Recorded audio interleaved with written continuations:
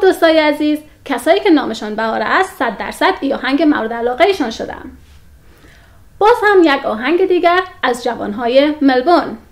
ای آهنگی که می‌خوایم براتان معرفی کنم برای کسانی که سبزروی هستند سروده شده است.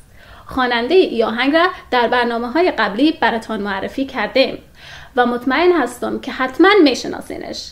ایشان یکی از جوانهای خوشزدا و خوشسیمای ملبورن می باشد که توانست در مدت بسیار کوتاه محبوبیت چشمگیری به دست آورد و خود را در قلبهای مردم و هنردوستان چه در داخل و چه در خارج از کشور جا کند.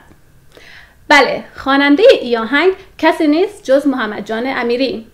کمپوز ای آهنگ توسط عالم محمود و تنظیم آن توسط کامران صورت گرفته است و کارگردانی آن توسط میلاد زهروند می باشد آهنگ سبزینه از محمد جان امیری را با هم می بینیم